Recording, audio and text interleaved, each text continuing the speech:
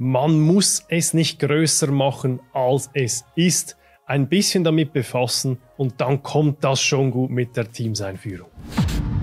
Das hat mir ein IT-Spezialist geschrieben in Bezug auf meine Aussagen, dass es wichtig ist, die wesentlichen Erfolgsfaktoren für die Teams-Einführung im Griff zu haben.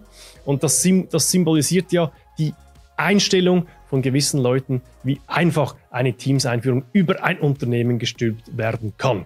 Die Realität ist natürlich total anders. Ich bin der Meinung, diese Aussage ist sehr gefährlich und ehrlich gesagt ein Schwachsinn. In diesem Video spreche ich von Teams, insbesondere für die Kommunikation und Kollaboration, also nicht die Online-Meetings, da bin ich auch der Meinung, das ist relativ schnell eingeführt. Die Leute sind sich schon sehr viel gewohnt, in Online-Meetings sich zu verhalten. Also insofern wirklich die Kommunikation und Kollaboration im Team, diesen Teil, den meine ich. Wer sich ein bisschen besser über Teams informieren möchte, wir haben ein Video aufgenommen, das in zwei Minuten eine Übersicht über Teams gibt.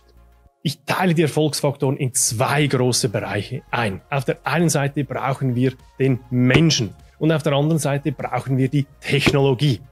Beim Menschen geht es wirklich darum, die digitale Kompetenz im Unternehmen auf ein modernes Niveau zu bringen. Weil es ist offensichtlich, alte Arbeitsweisen, die bewähren sich auf Teams nicht und darum ist das so wichtig, dass man diesen Bereich im Griff hat. Und die Technologie, da geht es darum, die Grundlage für Teams zu legen, die technische Grundlage für Teams zu legen, dass wir in einer perfekten technischen Struktur arbeiten können. Und diese Bereiche werde ich jetzt kurz ausführen. Beim Menschen brauchen wir zwei wesentliche Elemente, die zusammenpassen müssen. Auf der einen Seite ist das die Führung und auf der anderen Seite ist das die Mannschaft, die mitrennen soll. Die Führung ist matchentscheidend. Sie muss Vorgaben machen, wie dieses Teams eingeführt wird, welche moderne Arbeitsweisen im Unternehmen etabliert werden sollen. Das ist eine Führungsaufgabe und die Führung muss dann anschließend auch einsteigen in das Projekt, mitrudern, mitleiden und natürlich auch einfordern. Ich habe es wirklich sehr oft gesehen, dass wenn die Führung diese moderne Arbeitsweise nicht einfordert, dass dann die Mannschaft sehr oft nicht mitzieht oder einsteigt oder einfach auf der alten Arbeitsweise sitzen bleibt. Und dann die Mannschaft. Es geht darum, die Mannschaft oder die digitale Kompetenz der Mannschaft, der gesamten Unternehmung auf eine moderne Stufe zu heben. Es ist nämlich so, dass wenn man die alten, bewährten, jahrzehntelangen, eintrainierten Arbeitsweisen übernimmt auf die, auf die Teamsumgebung, dann wird das kläglich scheitern. Man muss seine Arbeitsweise anpassen. Also zum Beispiel, früher hat man E-Mails geschrieben, heute schreibt man einen Beitrag in Teams in einer, einer etwas anderen Art und Weise. Oder früher hat man mehrere Dokumente abgelegt, Version 1, Version 2, Version 3, Version 10, Version Final, Final 1, Final 2.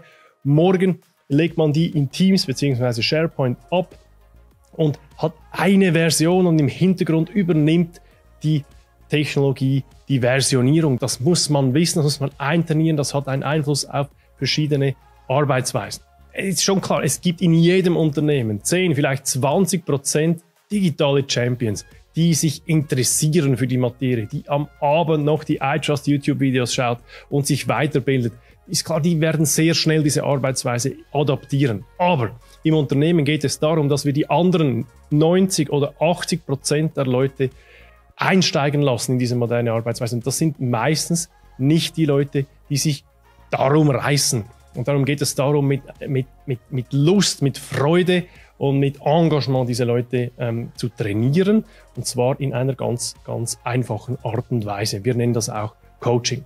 Zusammenfassend, wir brauchen die Führung und wir brauchen die Mannschaft. Und nur wenn beide Elemente zusammenspielen, dann haben wir den ganzen Menschen perfekt in diese Teamsreise integriert. Und nun zur Technik. Jetzt ist es so, dass Teams, die Technik von Teams grundsätzlich auf Knopfdruck bereitsteht.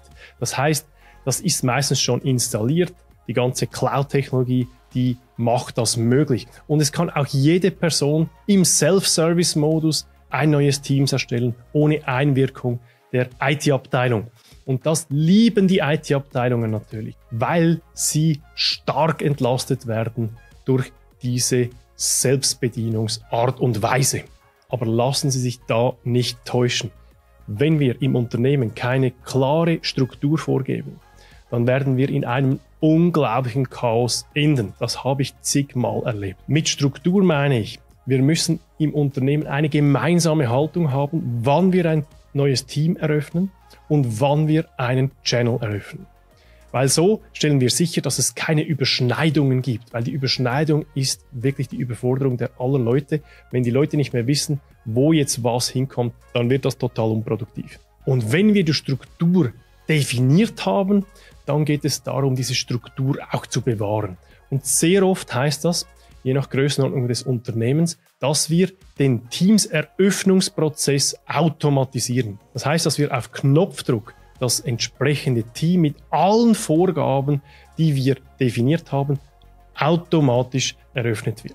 Das ist immer noch ein Selbstbedienungsmodus, aber ein strukturierter Selbstbedienungsmodus, so dass wir den Wildwuchs verhindern können. Zusammenfassend ist es wichtig zu verstehen, dass wir zwei Elemente brauchen. Es braucht den Menschen, die Führung und die Mannschaft.